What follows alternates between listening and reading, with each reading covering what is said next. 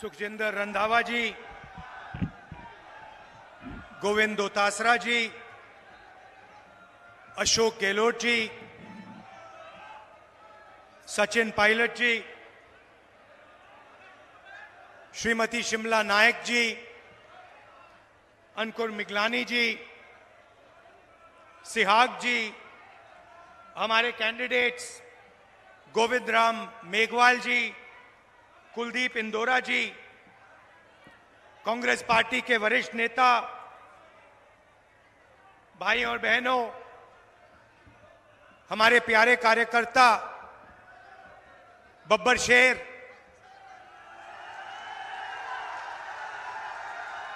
जो कांग्रेस पार्टी की विचारधारा के लिए जान देने को तैयार होते हैं और प्रेस के हमारे मित्रों, देश में सबसे बड़ा मुद्दा कौन सा है? बेरोजगारी। किसी से भी पूछो, यात्रा में मैंने हज़ारों लोगों से पूछा, सबसे बड़ा मुद्दा कौन सा है? खट जवाब आता है, बेरोजगारी सबसे बड़ा मुद्दा है। दूसरे नंबर पे कौन सा है? दूसरे नंबर पे महँगाई।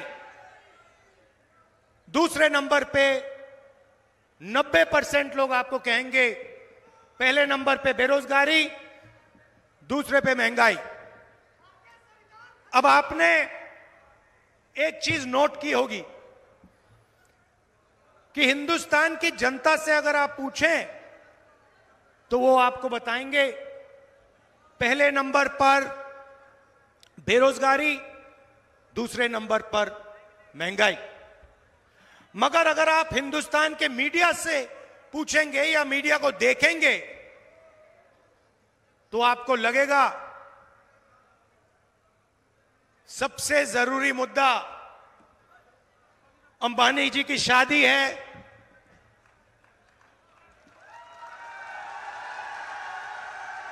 उधर आपको विदेश से हज़ारों लोग आते हुए देखेंगे। 24 घंटा मीडिया में आपको नरेंद्र मोदी जी का चेहरा दिखेगा। कभी वो समुद्र के नीचे जाएँगे।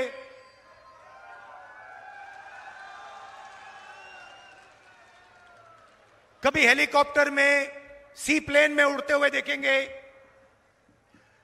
कभी थाली बजाते हुए देखेंगे। कभी मोबाइल फ़ोन की लाइट बजट दिखाने को बोलेंगे? तो ये सवाल कुछ समय से मैं अपने आप से पूछ रहा था कि ये जो मीडिया है,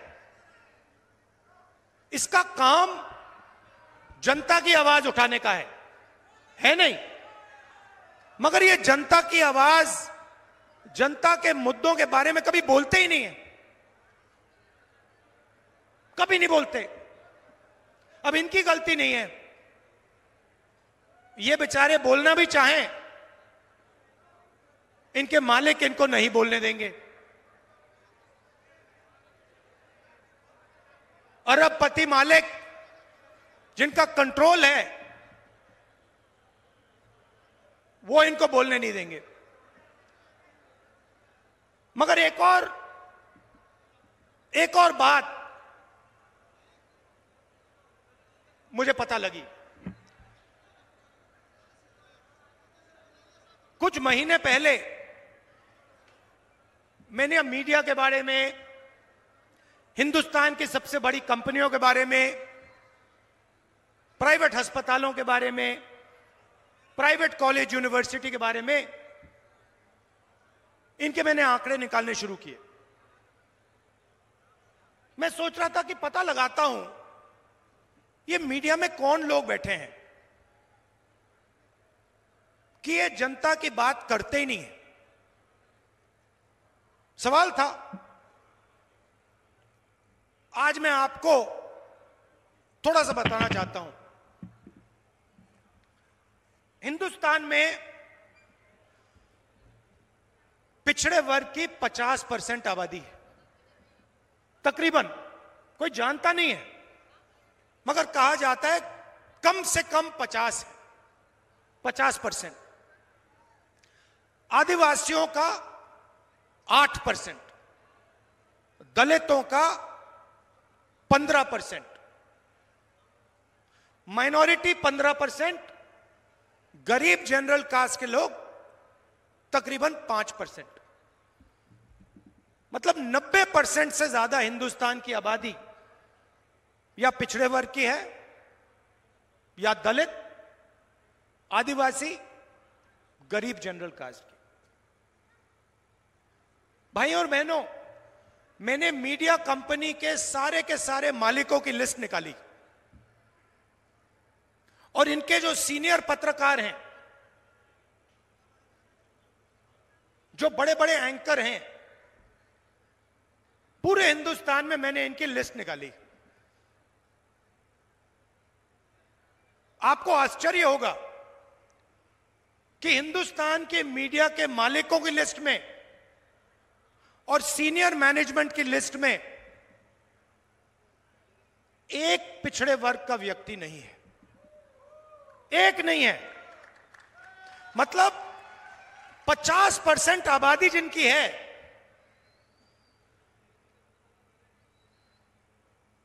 जो देश को चलाते हैं मेहनत करते हैं। उनमें से एक व्यक्ति हिंदुस्तान की मीडिया में आपको नहीं दिखाई देगा। दलित पंद्रह परसेंट।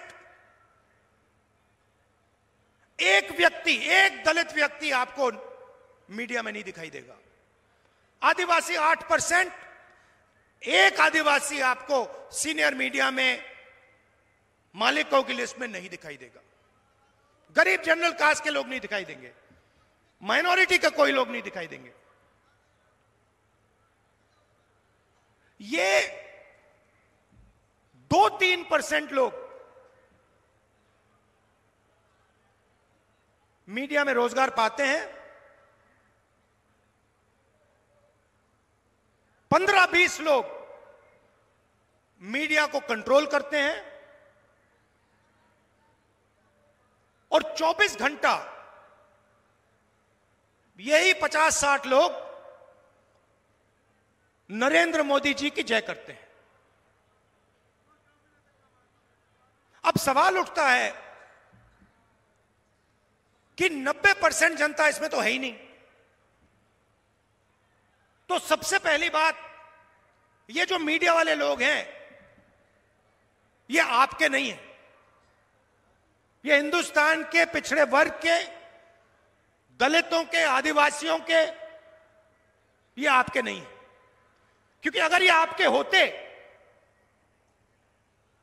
तो पिछड़े वर्ग के लोग मीडिया की बड़ी बड़ी कंपनीज़ के मालिक होते एंकर्स होते सीनियर मैनेजमेंट में होते और 24 घंटा जो देश के असली मुद्दे हैं, इनके बारे में आपको कभी दिखेगा नहीं। किसानों का एजिटेशन हुआ, किसान सड़क पे उतर गए।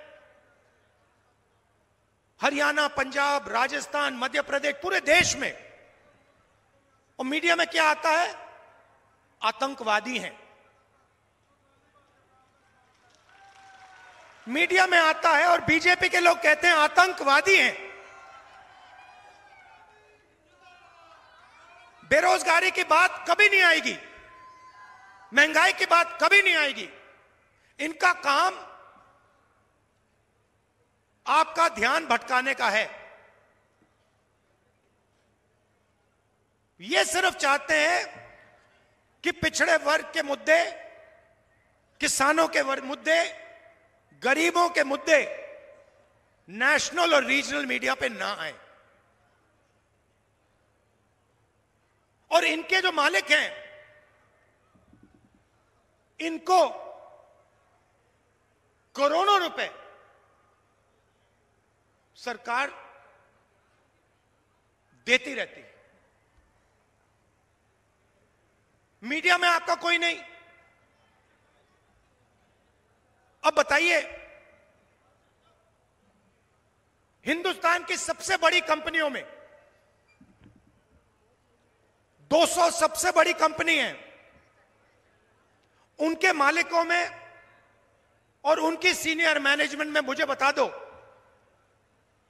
पिछड़े वर्ग के कितने लोग हैं? एक नहीं मिलेगा। मैंने लिस्ट निकाली है 200 नाम की लिस्ट निकाली। मालिकों की लिस्ट, सीनियर मैनेजमेंट की लिस्ट, उसमें आपको एक पिछड़े वर्ग का व्यक्ति नहीं मिलेगा, एक दलित नहीं मिलेगा, एक आदिवासी नहीं मिलेगा, एक गरीब जनरल कास्ट का व्यक्ति नहीं मिलेगा। नरेंद्र मोदी जी ने इन लोगों के 16 लाख करोड़ रुपए माफ़ किए हैं।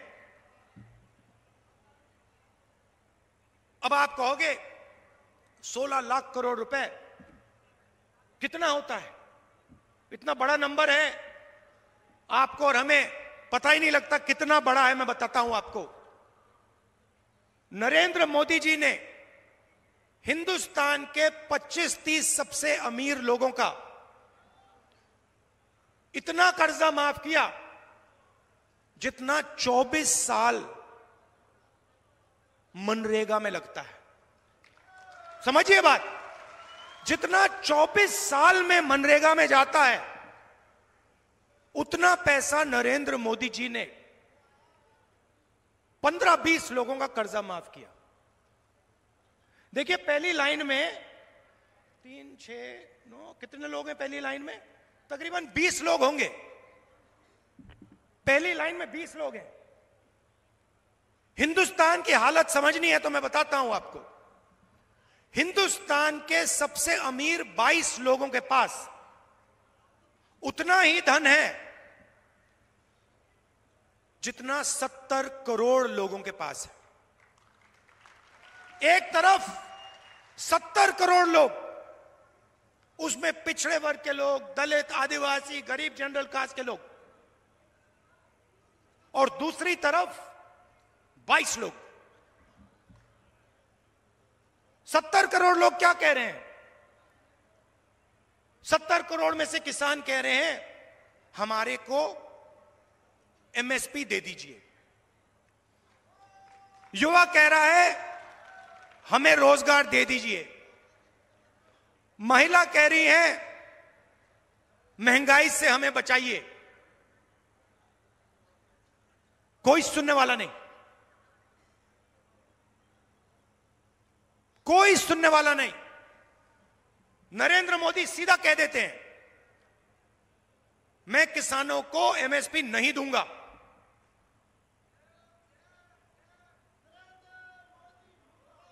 बिना बिना झिझक के मैं नहीं दूँगा। और फिर कहते हैं, वो तो आतंकवादी हैं। वायदा किया था, दो करोड़ युवाओं को रोज़गार दूँगा। पंद्रह लाख रुपए दूँगा बैंक अकाउंट में। पंद्रह लाख रुपए से ज़्यादा आपके जेब से उठा के ले गए। जीएसटी नोटबंदी, लाखों रुपए। पहली बार किसान टैक्स देता है। इंडिया, हिंदुस्तान की हिस्ट्री में पहली बार किसान टैक्स दे रहा है। और जितना टैक्स आप देते हो जीएसटी में, उतना ही अदानी देता है। ये आपने शर्ट खरीदी 18 परसेंट जीएसटी आप दोगे।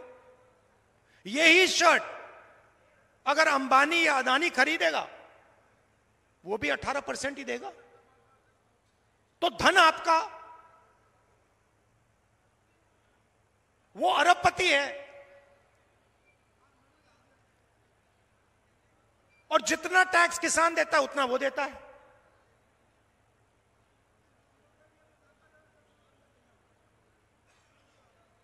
तो अब सवाल उठता है कि बीजेपी ने लाखों करोड़ रुपए अरबपतियों को दे दिए। वो कहते हैं मैं पिछड़े वर्ग का हूँ। अगर आप पिछड़े वर्ग के हैं तो मीडिया में पिछड़े वर्ग का कोई नहीं। हिंदुस्तान की सबसे बड़ी कंपनियों में पिछले वर्ग का कोई नहीं। हिंदुस्तान को नब्बे लोग चलाते हैं। आईएएस अफसर हैं, दिल्ली में बैठते हैं। बजट वो बांटते हैं। मैंने आंकड़े निकाले। नब्बे में से पिछले वर्ग के कितने? तीन। आबादी पचास परसेंट और नब्बे में से तीन। और अगर बजट की बात करें तो अगर सौ रुपए का बजट होता है, सौ रुपए का बजट बढ़ता है, पाँच परसेंट पिछड़े वर्ग के अफसर निर्णय लेते हैं। पंद्रह परसेंट दलित है। एक परसेंट सौ रुपए में से एक रुपए का निर्णय दलित अफसर लेता है। आदिवासी आठ परसेंट सौ रुपए में से दस पैसे आदि अफसर आदिवासी अफसर लेते हैं। तो कौन सी पिछड़ों की सरकार है कौन से दलित की सरकार है? कौन से आदिवासी की सरकार है? कौन से गरीब जनरल कास्ट की सरकार है? उनका तो आप कर्जा माफ़ नहीं करते। पचास परसेंट पिछड़े वर्ग के लोग हैं। उनका आपने एक रुपया कर्जा माफ़ नहीं किया। किसानों का कहीं भी आप कर्जा माफ़ नहीं करते। मजदूरों का कहीं नहीं करते आप। किसान का बेटा शिक्षा के लिए बैंक लोन लेता है, उसका कर्जा माफ़ कभी नहीं होगा। मगर अदानी अंबानी जैसे लोगों का 16 लाख करोड़ रुपए हो जाएगा।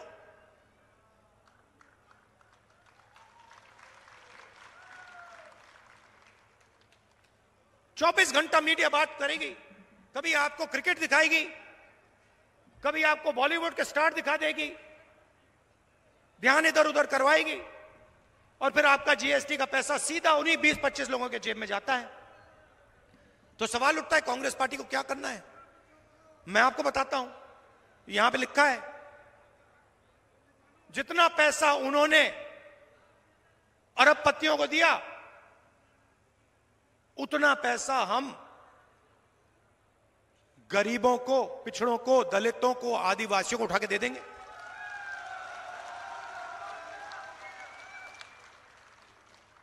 और आप देखना, चुनाव जीतने के बाद जब हम ये करेंगे तो सारा का सारा मीडिया कहेगा कि देखो, आप किसान की आदत बिगाड़ रहे हो। आप मजदूरों की आदत बिगाड़ रहे हो। हमने मनरेगा किया। मेहनत करके मजदूर को पैसा मिलता है, फ्री में नहीं मिलता। सारी की सारी मीडिया कहती है, नहीं देखो। यूपीए की सरकार मजदूरों की आदत बिगाड़ रही है आलसी बना रही है। मगर जब हिंदुस्तान के अरबपतियों का कर्जा माफ़ होता है तो उनकी आदत नहीं बिगड़ती, वो आलसी नहीं होते।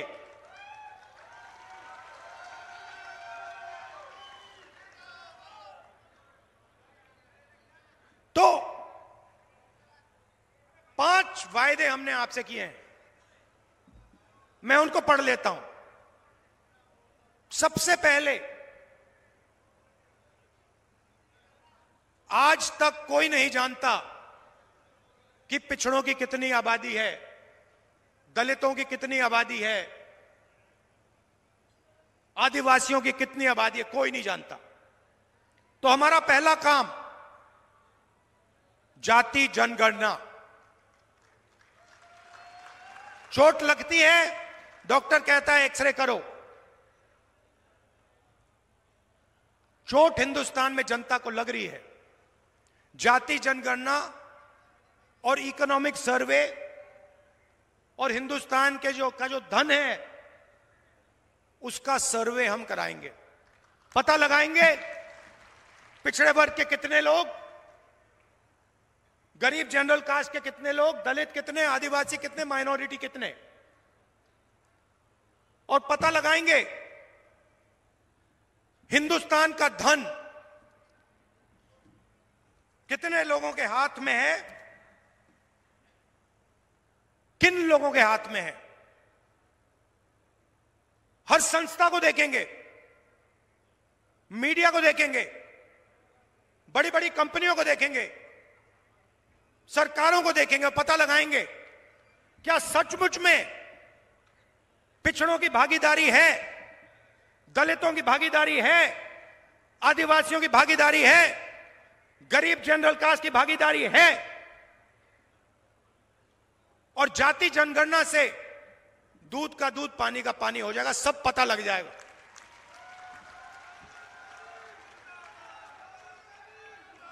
दूसरा काम देखिए, मेरे दिमाग में एक नंबर है। नरेंद्र मोदी जी ने 16 लाख करोड़ रुपया 22-25 लोगों का कर्जा माफ़ किया है। मैं उस नंबर को लिए चल रहा हूँ। अगर नरेंद्र मोदी जी ने अरबपतियों का कर्जा माफ़ किया, उनकी मदद की तो हम हिंदुस्तान के हर गरीब की मदद करेंगे, उसकी रक्षा करेंगे। तो हमारा दूसरा काम, हिंदुस्तान की हर गरीब हर गरीब परिवार में एक महिला को, अच्छी तरह सुनिए, हिंदुस्तान के हर गरीब परिवार में एक महिला को कांग्रेस पार्टी की सरकार साल का एक लाख रुपया बैंक अकाउंट में डाल देगी। आप अगर गरीब हो, चाहे मजदूरी करते हो,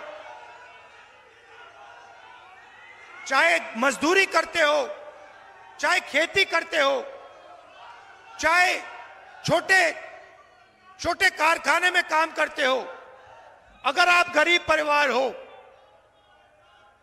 आपके परिवार में एक महिला को महीना का आठ हज़ार पाँच सौ रुपया, साल का एक लाख रुपया सरकार बैंक अकाउंट में डाल देगी और और उस दिन तक डालेगी।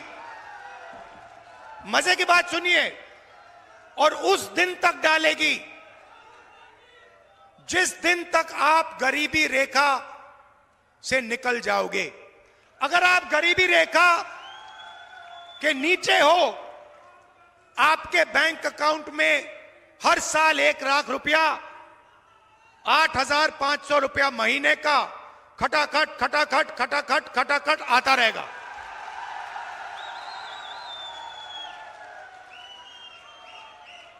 और एक झटके से, एक झटके से हिंदुस्तान से हम गरीबी को मिटा देंगे। अब दूसरा काम दूसरा काम। नरेंद्र मोदी जी ने कहा, दो करोड़ युवाओं को हम रोज़गार देंगे। झूठ बोला। जो अमीर घर के लड़के होते हैं, लड़कियाँ होती हैं,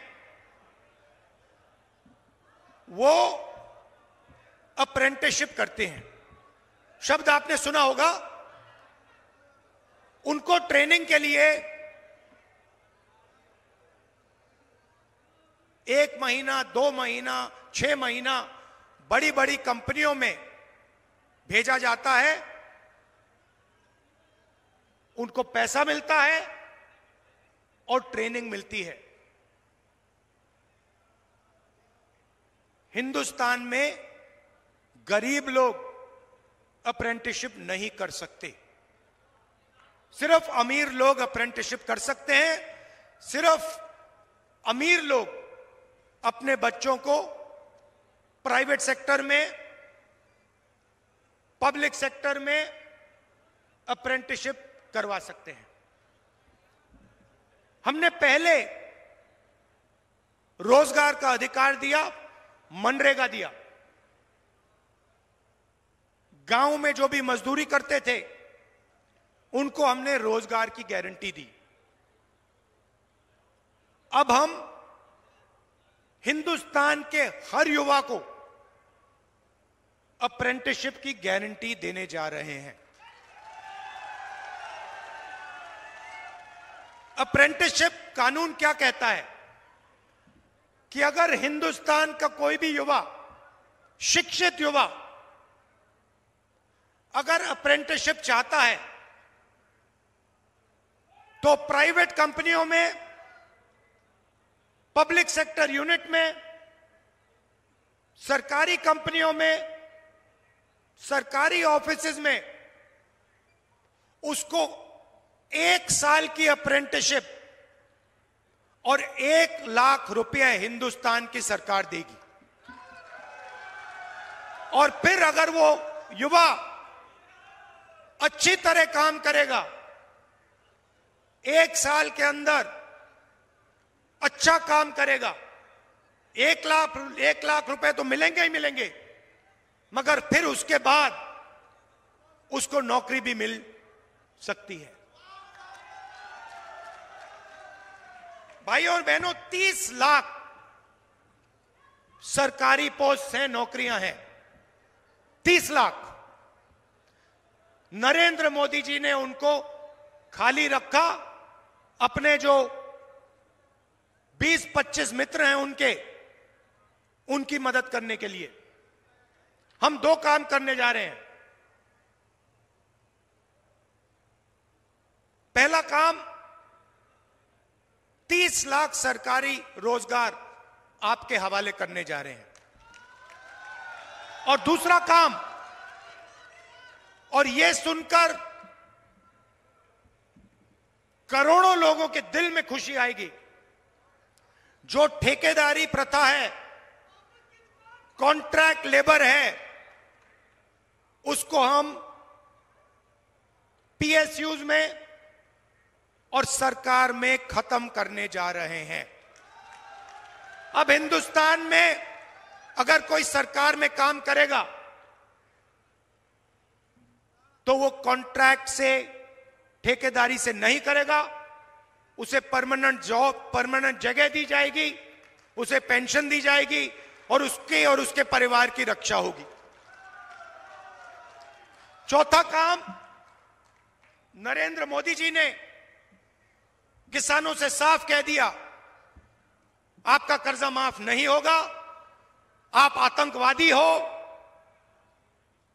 और आपको सही एमएसपी नहीं देंगे।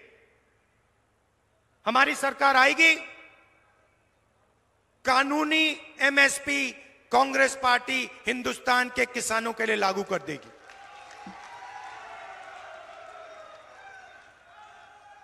और अगर नरेंद्र मोदी, अगर नरेंद्र मोदी कर्जा माफ़ कर सकता है तो कांग्रेस पार्टी फिर से किसानों का कर्जा माफ़ करके आपको दिखा देगी। तो ये ये मैं आपसे कहने आया था कि देखिए, जितना उन्होंने 20-25 लोगों को दिया, उतना हम हिंदुस्तान के करोड़ों लोगों को देंगे। और आखिरी बात आखिरी बात राजस्थान में उत्तर प्रदेश, तमिलनाडु, हिंदुस्तान का हर प्रदेश अपने युवाओं को सेना में भेजता था। सेना गारंटी देती थी कि अगर आपको कुछ हुआ, कुछ भी हुआ, हिंदुस्तान की सरकार आपकी देखभाल करेगी। शहीद का दर्जा देगी, पेंशन देगी।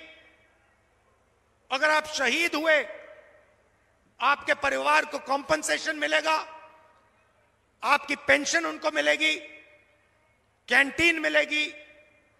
यह वायदा हिंदुस्तान की सरकार हिंदुस्तान के जवान से करती थी। यह वायदा यह वायदा नरेंद्र मोदी ने अग्निवीर बनाकर यह वायदा तोड़ा है।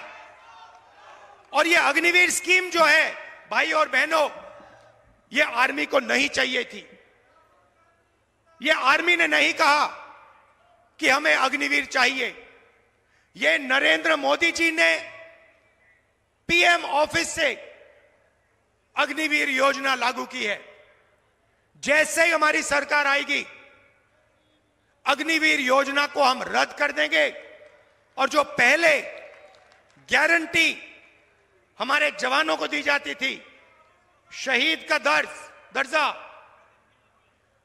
पेंशन कैंटीन ये हम एक बार फिर हमारे जवानों को देने जा रहे हैं। आप सब यहाँ आए, गर्मी में आए, दिल से आपका धन्यवाद करता हूँ। भाइयों और बहनों, ये चुनाव संविधान को और लोकतंत्र को बचाने वाला चुनाव है। यह चुनाव 90 परसेंट वालों का चुनाव है। पिछड़ों का, दलितों का, आदिवासियों का, गरीब जनरल कास्ट का। एक तरफ़ अदानी जी और हिंदुस्तान के बड़े बड़े अरबपति, नेशनल मीडिया, पूरा का पूरा धन उनके हाथ में, कांग्रेस पार्टी के बैंक अकाउंट बंद कर दिए। इलेक्टोरल बॉन्ड से दबाव डालकर, हफ्तेबाजी कर कर बीजेपी ने हिंदुस्तान के बड़े बड़े उद्योगपतियों से पैसा लिया है। ये चुनाव गरीब और 22 25 अरब पतियों के बीच में चुनाव है। कांग्रेस पार्टी को जिताइए। हमारे यहाँ जो कैंडिडेट हैं, उनको भारी बहुमत से जिताइए। आपका बहुत बहुत धन्यवाद। नमस्कार जय हिंद।